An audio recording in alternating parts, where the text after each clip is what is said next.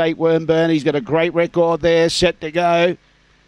Away. He began okay. Molly B. Nimble shifted him up the track slightly. On the inside is R8. Wormburner had to bump there with Crisis Bale. He's charging around the outside. Crisis Bale's going with him though. In the meantime, going to the front was Molly B. Nimble, but Crisis Bale took over. Here comes Wormburner. He's stoking up. He goes straight past them, Wormburner. Crisis Bale's trying to go with him. Well back is R8 Alingaval. Nitnoy and blowed away. And that's what he's done. He's blown them away, Wormburner. Blown away. Gets up for second late. Beats Crisis Bale. Third, R8. Behind those, Alinga Val, Nitnoy, and Molly B. Nimble gave them something to chase, but she was the last one home. 29.58 the time.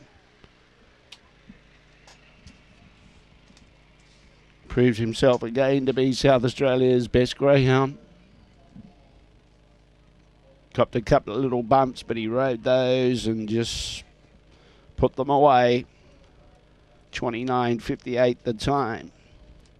440, 17, 13, and the run home 12.45.